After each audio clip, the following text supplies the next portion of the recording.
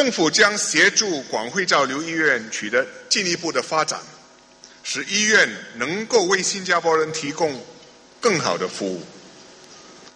首先，政府关关注广汇照流医院是否需要搬迁的问题。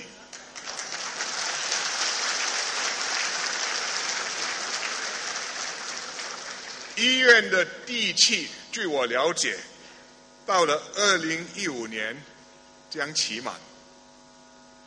医院董事部希望政府能够延长地契。政府也了解他们的心愿，也认识到医院现址的历史意义和价值。市区重建局已经跟广汇照董事董事部商讨过这个问题，并且达至了共识，找到了一个解决问题的好的具体的办法。我们将保留一部分具有历史意义和代表性的建筑，在现有的地方，其余的土地将进行重新规划。这是一块非常珍贵的土地，因为附近就是文庆地铁站，因此必须充分利用这块土地，所以。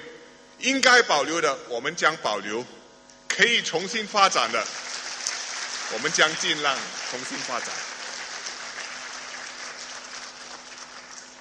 医院现址的一部分土地将归回国家，那另外一部分，包括这些有历史性、重要、代表性的建筑物，将保留，并且有足够的空间重新发展，更密集的发展，发展更好的、更高水平的。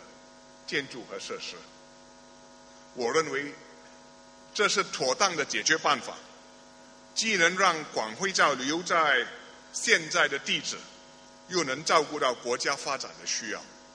我希望会得到大家的认可和支持。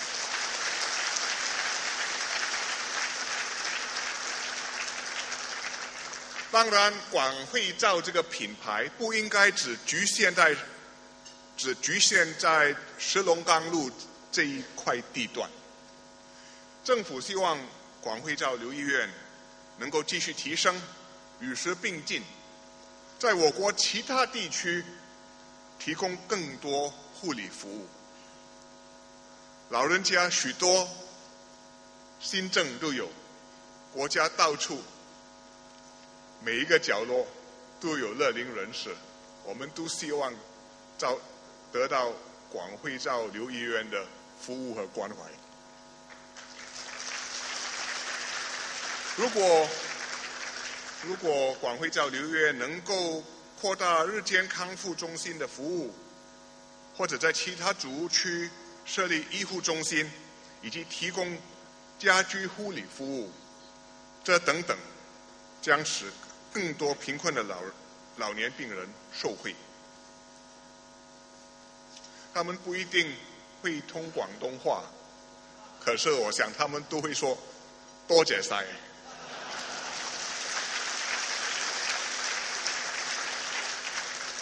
最后，最后让我祝贺广汇照流医院所取得的显著成就，并且祝愿这所百年医院继续在我们的社会发光发亮，造福广大人群。